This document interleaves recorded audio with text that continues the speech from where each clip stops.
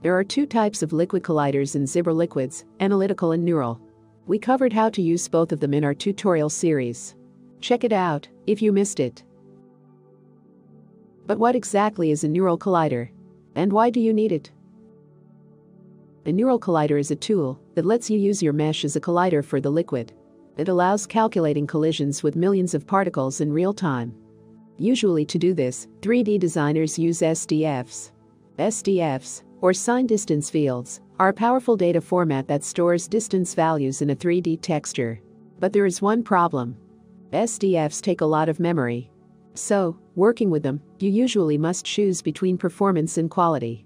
That's why artists often apply a more manual approach when making complex objects interact with their surroundings.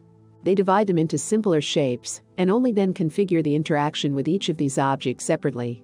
Our Zibra neural colliders remove the need for a manual approach altogether. They are based on our custom neural SDF representation technology that makes SDFs more lightweight. Zibra Liquids uses this to create real-time particle simulation. You can adjust liquid interaction with any complex object without manually dividing it into simple ones.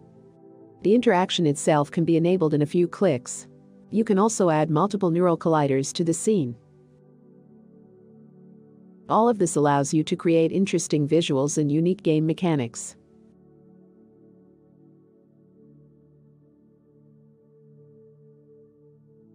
In this video, we used a fairly accurate representation of the object's shape, but water flows around it and interacts even with its smallest parts. Cool, isn't it? With our neural colliders, you can recreate the scene in just a few clicks, or you can come up with numerous other ideas.